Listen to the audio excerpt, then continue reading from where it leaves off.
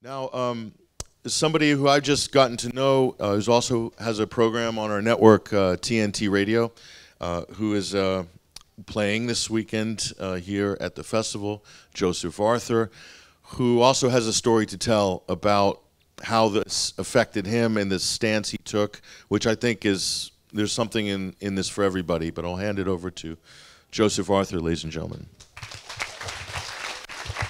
Hello, check. Thanks, Patrick. Um, yeah, I, I've been a musician for a long time. I was living in New York City when the whole pandemic happened, and um, um, I I had a good. I think we got addicted to social media, and it neutered us in a way. Social shame turned out to be far more powerful a force, I think, than many of us reckoned it was, maybe, and and propaganda and its ability to work on people because we all knew lots of really smart people that just bought the whole narrative hook, line, and sinker and wouldn't allow anyone to even question it without demonizing them. And I don't know, I, so, I sort of started making little weird arty things about how I didn't like masks when that first happened. And when they started rolling out um, the mRNA stuff, and then they wanted to give it to kids. That's when I finally just sort of took the gloves off of my social media and just started saying this is insane on the face of it. Uh, kids have no real risk of, of death from this thing, and, and this is experimental.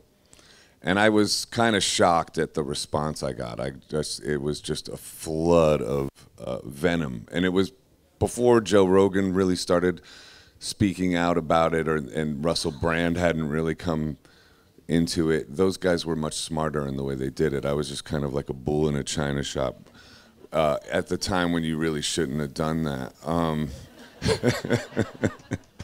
and I would just get lots of people writing me like saying, "Please stop talking," and old old friends. Um, and then L.A. Times did a four-page uh, hit job piece on me in the Sunday art time, art section. I, I'm an artist of note. You know, I have a little cult thing going on, but I did not warrant a four-page Sunday Art Times, LA Times feature, basically on how I was a, a, a mental patient, essentially.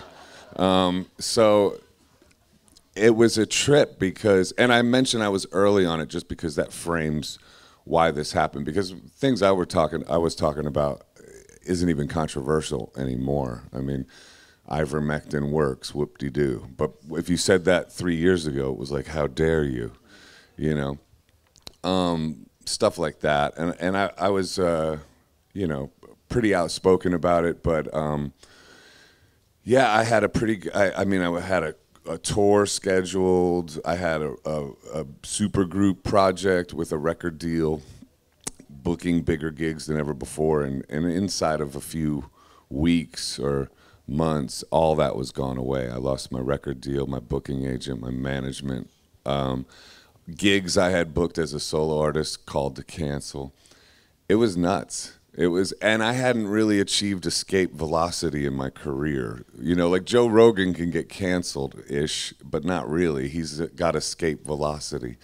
So there's certain artists I think that are more vulnerable to cancellation. Um, and then you have to just sort of frame it like we're all on a soul journey. You know, it's good for our egos to be broken down. It's been good to be humbled. You know, it's it's actually like a sort of spiritual journey. This whole thing, um, but the effects of cancellation are are are real, and it does get exhausting. It's interesting what you were saying about how they're going to start mapping your minds because with AI they can do that they can start really sort of psychoanalyzing people through AI. It's like minority report type of stuff about to occur. So, I mean, that's my story in a nutshell. I just like, I, I got this talk radio uh, job at TNT, which has been great. And then coming out here and playing music for y'all is amazing to me. It does make you appreciate life more. And the I would have worn shoes, by the way, if I would have known. I was going to be on stage. I'm, I didn't know until we came. I'm grounding, you know. You, it's good for you. It's it's peer-reviewed studies. It takes away inflammation and all this other stuff. Anyway, so yeah, Yeah, that's misinformation. Yeah, but but but that's the other thing too. It's like fasting, water fasting. A three-day water fast can reset your immune system entirely.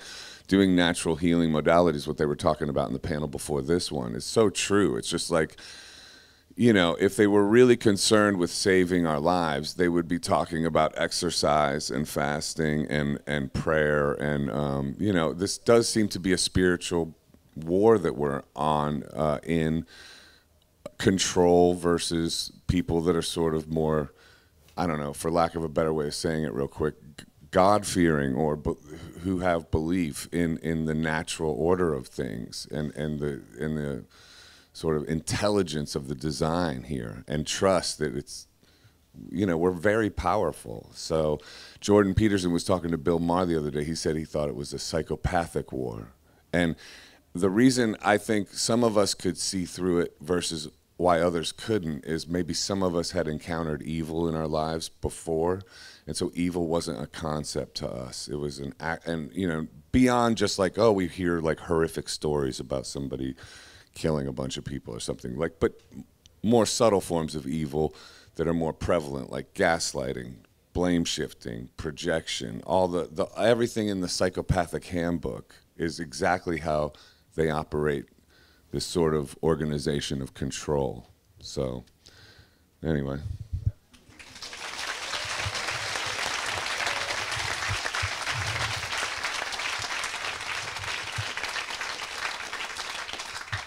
Joseph is not being altogether telling you the whole truth on that story about grounding. He does have a pair of shoes. Tell, tell us tell us about tell us about your shoes my Crocs. I'm a dad now too. I had a, I have a two year old, so uh, my style has just become destroyed. I used to shop at Barney's, and now I live in Arizona, so I just wear shorts and a t-shirt and no shoes. And the worst is a fanny pack. That's like, I don't have it on now. I'm trying to quit. a bum bag, a bum bag, yeah. So Crocs in a bum bag or bare feet. How many of you seen that film Raising Arizona with Nick Cage? You got to like that. That's my life. Joseph is living that film in Tempe, Arizona. Thanks, Joseph. And you know, um, I'm I'm really impressed. Uh, you know, Joseph wasn't a political person per se, but he became through talk radio. It really gave him a platform to really, you know, expand as a political commentator to the point now, after a year and a half, that he's a bona fide political commentator in addition to being a, a musician. And that's not something you ever plan to do, is it? No, no, not at all. I mean that that's what I mean. It's like I think we all have to be brave and speak up because I do trust God looks after us, you know. I don't really love the way he looks after us all the time. Like I wish it was more on my time scale, like and exactly how I want it. It's not. But when you like sort of zoom out and go, wow, yeah, have developed this entire whole life basically, and and I think we've all met new amazing people through this, and so it's just this uh, consciousness is rising amongst us all in response to what's happening. So it's an interesting race. It's like their tyranny is pushing us down, and our consciousness will probably become shockingly evolved. That's what I'm hoping.